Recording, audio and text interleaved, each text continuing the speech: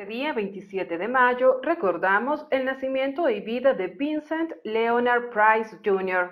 Nació en San Luis, Missouri, el 27 de mayo de 1911. Falleció el 25 de octubre de 1993 en Los Ángeles, California.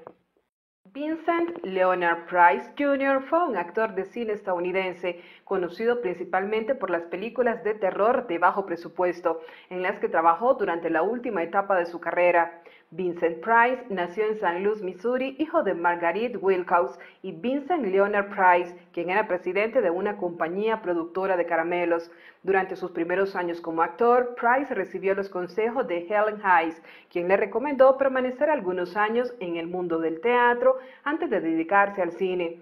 Finalmente, tras varias audiciones, Price realizó su debut cinematográfico en la cinta Service Deluxe en 1938. Su primer rol dentro de una película de terror fue en Tower of London de 1939, donde actuó junto a Boris Karloff, famoso por haber interpretado al monstruo de Frankenstein en 1931. En los años de 1950 se adentró al cine de terror con House of Watts de 1953, la primera película en 3D, y La Mosca en 1958. Además, actuó en la versión original de House of Haunted Hill de 1959 como Frederick Loren, un excéntrico millonario. En la versión de 1999, el apellido del personaje de Geoffrey Rush es Price, en honor al actor.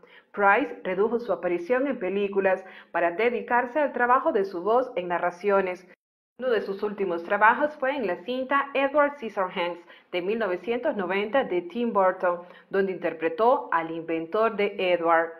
Falleció de cáncer de pulmón el 25 de octubre de 1993 a los 82 años de edad, provocada por su adicción al tabaco.